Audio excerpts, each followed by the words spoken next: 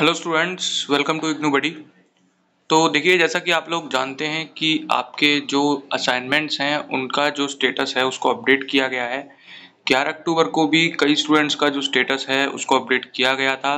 उससे पहले 10 अक्टूबर को भी कई सारे स्टूडेंट्स ऐसे थे जिनका जो असाइनमेंट स्टेटस है, उसको अपडेट किया गया था।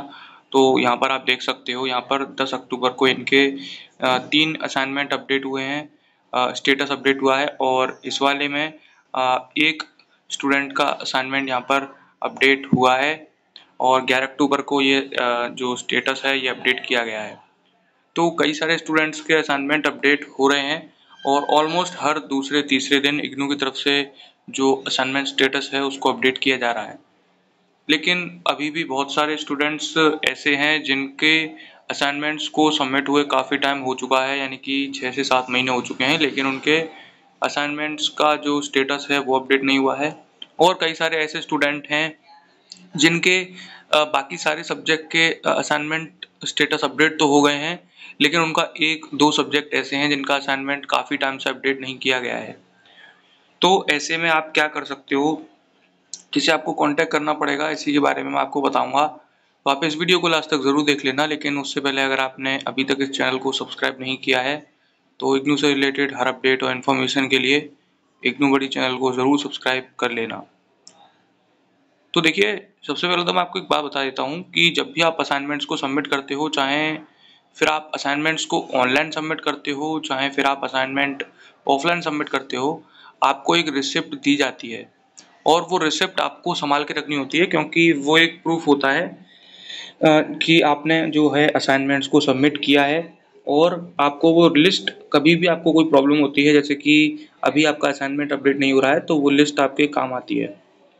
आपको सबसे पहला तो ये चेक करना है, आपके अगर असाइनमेंट अपडेट नहीं हुए हैं लिस्ट आपकी जो असाइनमेंट स्टेटस है वो अपडेट नहीं हुआ है तो इग्नू की तरफ़ से इग्नू रीजनल सेंटर की जो वेबसाइट होती है, वहाँ पर ये चेक करना है अपनी रीजनल सेंटर की वेबसाइट पर कि क्या आपके रीजनल सेंटर की वेबसाइट ने कोई ऐसी लिस्ट अपडेट की है जिसमें स्टूडेंट्स के जो असाइनमेंट एक्सेप्ट हुए हैं, वो वो अपडेट की गई है या नहीं, क्या उसमें आपका नाम है या नहीं, आपके जितने भी असाइनमेंट्स हैं, क्या उसमें वो लिस्ट में आपका नाम है या नहीं है?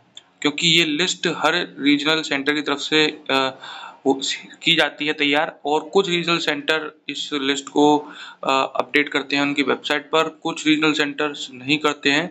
तो अगर आपके रीजनल सेंटर ने ऐसी कोई लिस्ट ऑफ़ ऑनलाइन अपडेट नहीं की है वेबसाइट पर तो आपको अपने रीजनल सेंटर को विज़िट करना है और अपनी जो रिसिप्ट है असाइनमेंट्स की, उसको अपने साथ ज़रूर लेके जाना है। वो लिस्ट आपका एक प्रूफ है कि आपने असाइनमेंट्स को सबमिट किया है। वो लिस्ट बहुत ज़रूर, आपकी जो रिसिप्ट है वो बहुत ज़रूरी है। आपको उस रिसिप्ट को दिखाना पड़ेगा और उनको ये बोलना पड़ेगा कि आपके जो असाइनमेंट हैं, वो काफ़ी टाइम से उनका स्टेटस अपडेट नहीं हुआ है और आपको वो लिस्ट चेक करनी है। तो वो आपको वो लिस्ट को चेक करवा देंगे। उसमें आपको कुछ नहीं करना है। उनके पास वो लिस्ट होती है, वो आपको लिस्ट बता देंगे या फिर वो आपको चेक करवा देंगे उस लिस्ट को, जिससे आपको कंफर्म हो जाएगा कि आपके असाइनमेंट तो एक्सेप्ट हो गए हैं, लेकिन उनके अभी मार्क्स अपडेट नहीं हुए हैं, या फिर वो चेकिंग प्रोसेस में है, या जो भी है, वो आपको कंफर्म कर देंगे। तो ये एक तरीका है। आपकी जो असाइनमेंट की जो प्रॉब्लम है उसको सॉल्व करने का, आपको कंफर्मेशन हो जाएगी कि आपके असाइनमेंट एक्सेप्ट हुए हैं रिजेक्ट नहीं हुए हैं।